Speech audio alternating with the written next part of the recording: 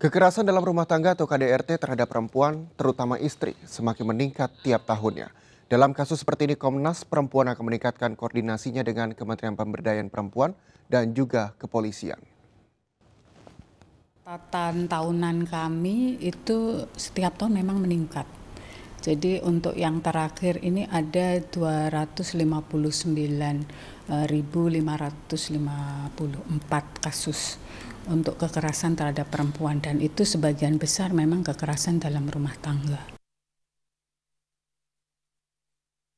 banyak ya persoalannya ya. Ini apa tingkat stres kemudian juga pandangan masyarakat yang melihat bahwa uh, perempuan ini uh, posisinya subordinat lebih rendah daripada laki-laki sehingga dia boleh memukuli istrinya atau melakukan kekerasan seperti itu. Tapi dalam uh, sisi hukumnya sebenarnya mungkin undang-undang uh, PKDRT atau penghapusan kekerasan dalam rumah tangga ini tidak efektif untuk membuat jerah uh, pelaku begitu. Kalau di negara-negara lain itu hukumannya lebih berat memang.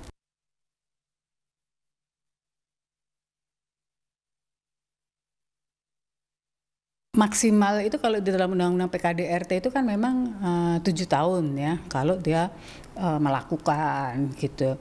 Uh, tapi tidak ada hukuman minimalnya gitu, hanya ada hukuman maksimal. Artinya ya bisa terus dia ini apa pelaku ini dapat akhirnya hukuman yang sangat ringan begitu.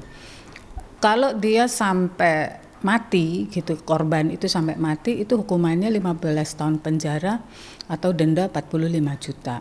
Nah, itu kalau di eh, negara-negara uh, lain itu uh, sangat tinggi gitu. Maksudnya ya kalau menurut uh, kami ya hukuman se ini apa 15 tahun itu masih sangat ringan karena dia sudah menghilangkan nyawa orang lain.